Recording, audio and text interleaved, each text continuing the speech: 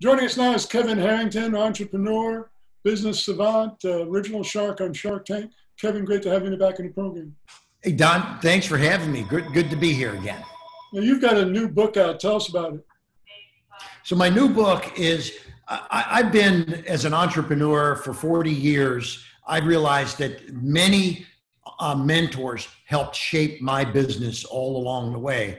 Uh, I was lucky to have a father when I was 11 years old that said, you know, you, you need to uh, work hard and get your own business. And so when I was in a teenager and in, high in, in high school, I started a company. And then uh, when I got to college, I started another business that grew to millions of dollars a year in sales with dozens of employees while I was going to school.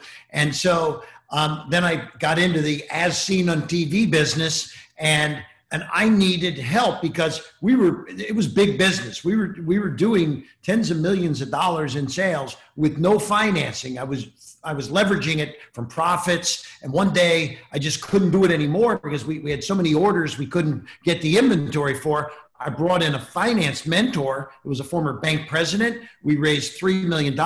We 10x the size of the company. So mentors have been good to me. So I wrote the book, Mentor to Millions. And it's all, it's, it's not about millions of dollars. It's about millions of people and the impact that a mentor can have in your business if, if you have the right mentor. So that's, that's, that the book launched last week and uh, it's, it's doing pretty well. We're excited about the book.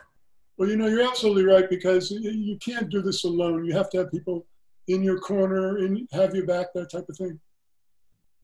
Exactly. I mean, it's when when I think about it, when I first started as an entrepreneur, I wanted to be my own boss and do it myself. I didn't want to pay other people. And of course, when you don't, you know, if you're a young entrepreneur and you don't have a lot of money, you don't have a budget for like a $150,000 CFO necessarily, right? So you end up bootstrapping and and and getting people in to do the job, but they may not be the right people, and that's what I found out. So um, yeah, so uh, along the way here, um, I have, you know, as, as, part of my my as seen on TV business, it was important to have good finance and operations people. Of course, then I got that phone call from Mark Burnett, and he's like, "Hey, you want to come on Shark Tank?" And I'm like, "Well, hey, Mark, thank you." Uh, I did. I was the, the the very first shark they picked, and and and so now people come to Shark Tank, and you know what? They're they're, they're really looking for two things. One, they're looking for money,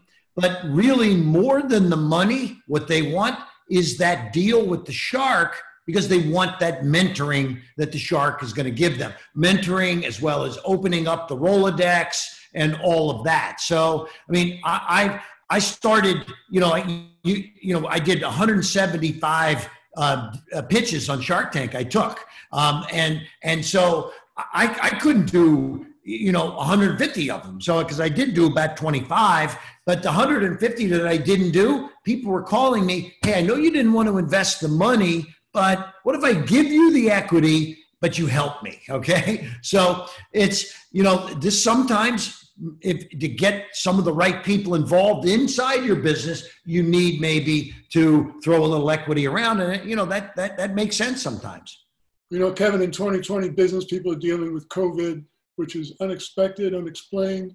How do you how do you best recommend people deal with it in business? So so this is what happened to me when COVID first hit.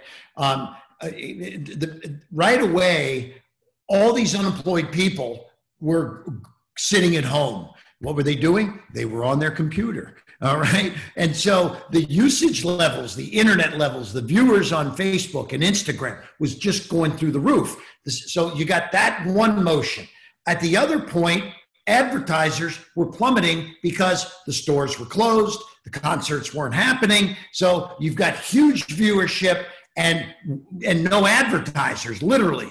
I picked up in that, that delta of, of when this first hit, I focused on customer acquisition. We were getting the best customer acquisition deals we had ever seen in years because there were so many people watching and nobody was advertising. So we had we, we, we cut the best deals that we, we'd ever seen. And so I believe that people that are in business, entrepreneurs, need to focus on their e-commerce strategies, their customer acquisition strategies, and one other thing also. It's I, I have a big focus on subscription revenue, and this is because in, in, over the years of infomercials for me, I was sort of the gadget guy. We did the Ginsu knives and the food saver and the Jack LaLanne juicer and you know tools and Billy Mays saws and hardware and drills. People only buy one. What subscription revenue is how do you get people to buy something today and, and have it auto shipped on a monthly basis? So, those are a couple of the things that I say that it's important for people focus on getting the customers and then focus on keeping them for a lifetime. Sage advice from a business savant. The book is Mentor to Millions. Show us the book again, Kevin. Here we go. Mentor to Millions. And if you go to kevinmentor.com, we actually have a deal where you get 30 days of free mentoring from me and my co author, Mark Timm. And we we, are going to be doing virtual events, live events, taped events, pitching events for 30 days go to mentor, kevinmentor.com and you can check it out and you get 30 days of free mentoring. Best of success with the book, Kevin. Thanks so much for joining us. Thank you, Don. Take care, buddy.